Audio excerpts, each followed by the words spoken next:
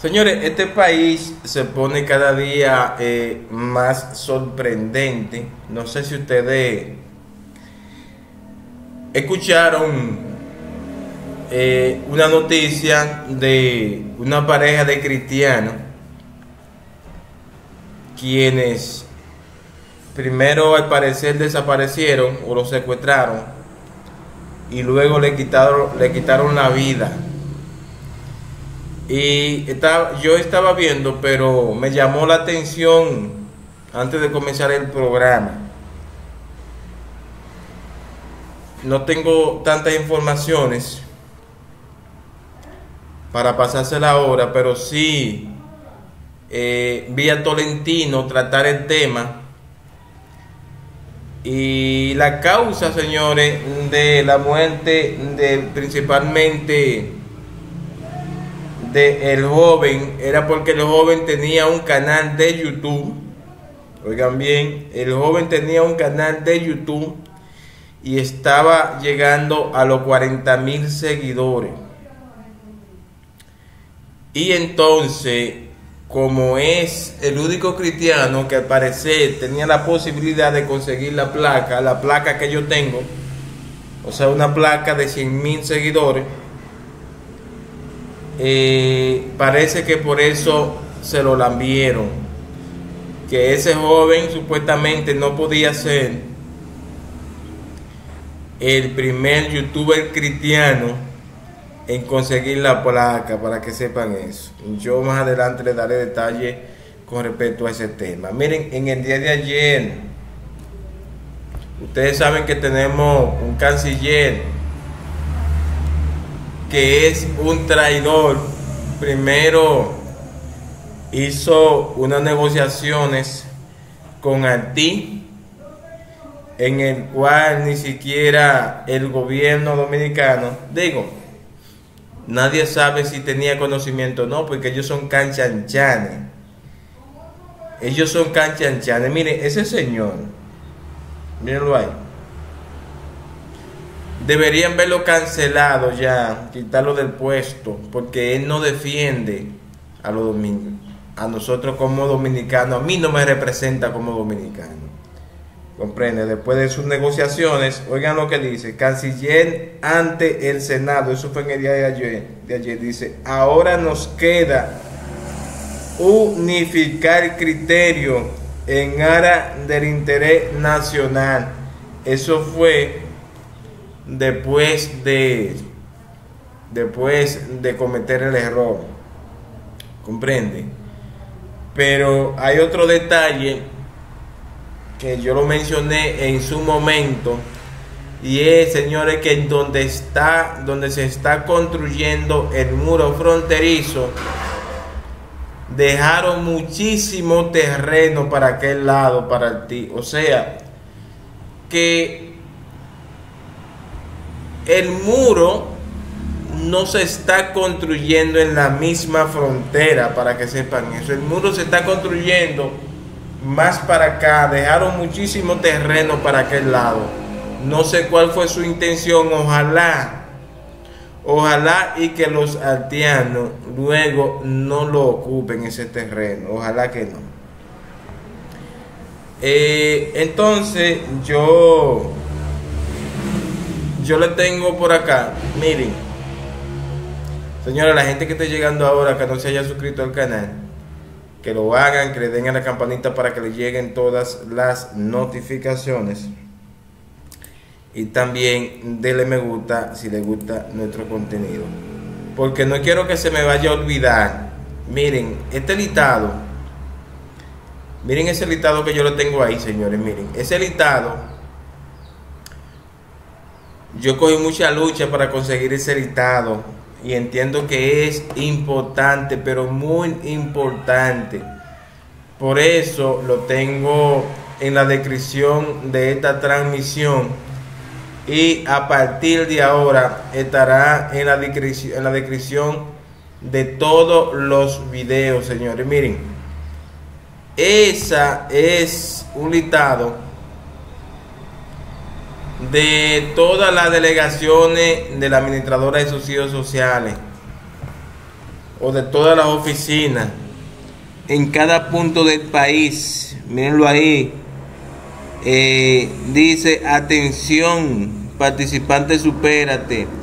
Asua, Bauruco, Barahona, Dajabón, Duarte, Independencia, La Altagracia, La Romana, La Vega, María Trinidad Sánchez, Independencia, Monte Plata, Monseñor Noel, Pedernales, eh, Peravia, Puerto Plata, Samaná, San Cristóbal, Santiago, Santo Domingo, San Pedro de Macorís, eh, Sánchez Ramírez, Santiago Rodríguez, San José de Ocoa y Valverde. Ahí, está ahí están todas las que son, señores. Ahí están todas las que son. ¿Por qué yo traje ese listado? Bueno, porque como ustedes ya sabrán, hay muchas personas que tienen su tarjeta que están de cambio. Otros han solicitado en reemplazo de su tarjeta y todavía no se la han entregado. ¿Cómo usted se va a dar cuenta dónde está su tarjeta? En caso de que cuando lleguen los operativos que estamos esperando que pronto y ojalá que en este mismo mes vengan operativos de cambio de tarjeta de banda a. Pero es más fácil cuando usted tiene algún inconveniente eh, dirigirse a su oficina más cercana o hacer una llamada y así evitarse el viaje, ¿verdad? gastar menos tiempo y menos dinero. Yo siempre trato de mejorarle la vida a ustedes. Entonces en la descripción de este video está ese listado y lo voy a dejar en todo lo directo. Ese listado, ahí están eh, la dirección de todas las oficinas a nivel nacional. Pero también está los números de teléfono y correo de todas las oficinas. Yo espero que les sirva de mucho ese listado. Uh, quiero. Yo tengo. Ustedes saben que a veces tengo una información ahí. Eh, pero primero yo le voy a poner. Yo le voy a poner un audio de el director del Litín Diario con respecto a, ustedes saben que anoche yo le mencioné eh, los seis niños que aparecieron en la puerta de un en la puerta de un cementerio, ¿verdad? Ser, cadáver. Voy a poner una nota sobre eso, escuchen. Listín Diario presenta el editorial del director. Jueves 5 de octubre. Tirados como basura. La aparición de seis cadáveres de niños recién nacidos frente al cementerio Cristo Salvador en Santo Domingo Oeste, envueltos en una funda de basura, ha conmocionado a la sociedad. ¿Cómo es posible tanto irrespeto a la dignidad humana, aún tratándose de personas fallecidas, que un hospital y una funeraria hayan incurrido en un procedimiento poco riguroso para ejecutar el ritual del entierro? sea de fetos o de niños ya nacidos, revela el sesgo despreciativo que se ha evidenciado en este caso. Los dos principales responsables de la cadena, el hospital y la funeraria, se lavan ahora las manos como Pilatos para desentenderse aún más de un procedimiento en el cual ambos fallaron. No hubo presencia o información a los parientes de los neonatos sobre el entierro y para colmo, ahora se dice que la funeraria dejó en manos de un Zacateca esa misión. ¿Por qué entonces aparecieron enfundados como basura y no en pequeños ataúdes a las orillas del cementerio?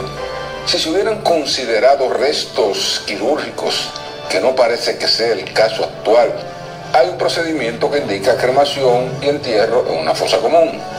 Debe existir por lo menos certificado de defunción con su respectiva causa y cumplirse un tiempo de 24 horas mínimo antes de proceder a la sepultura con el debido respeto y sentido humanitario, porque no eran animales realengos ni desechos callejeros.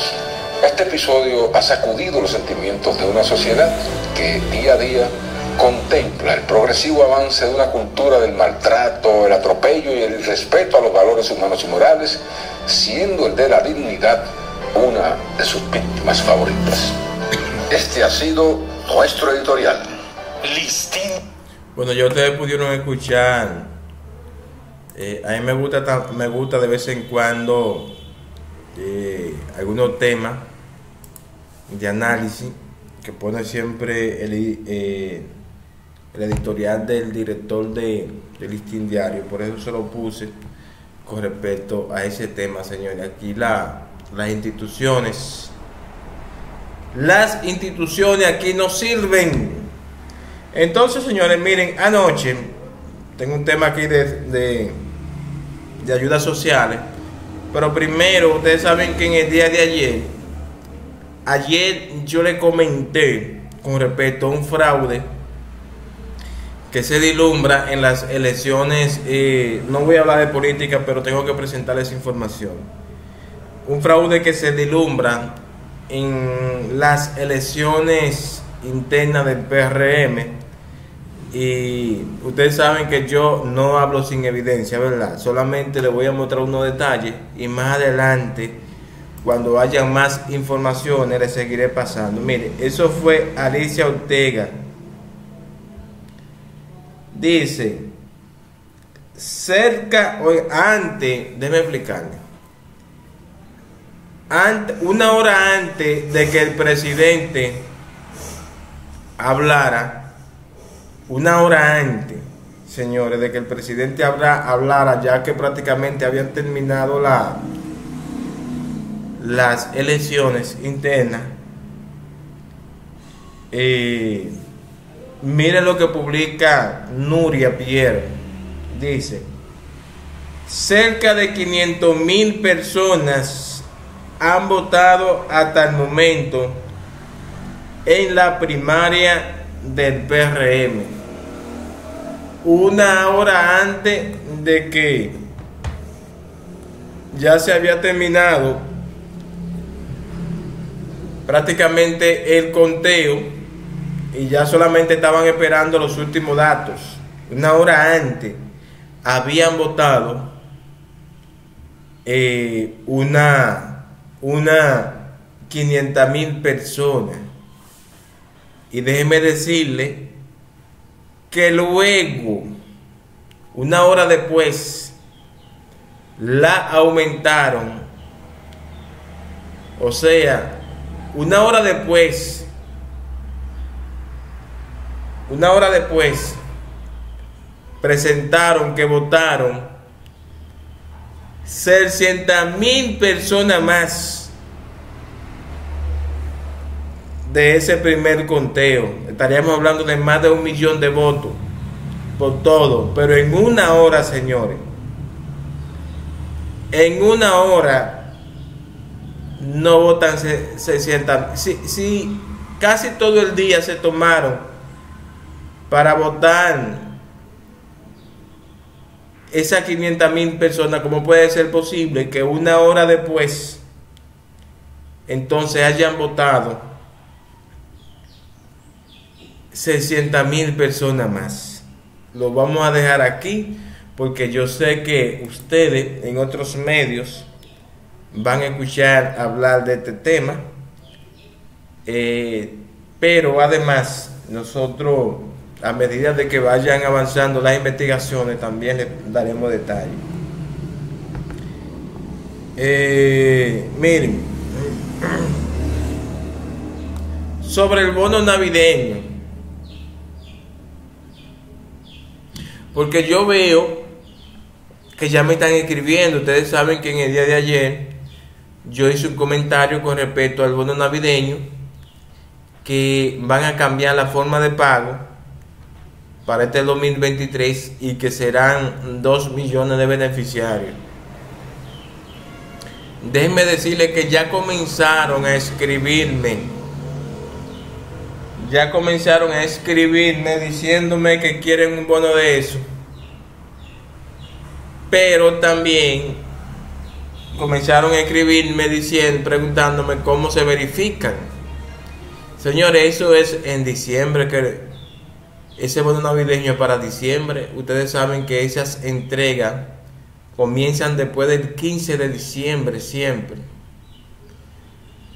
¿Comprende? No comiencen a escribirme con respecto a ese tema. Si ustedes quieren detalles, ustedes saben que todavía eso es en noviembre.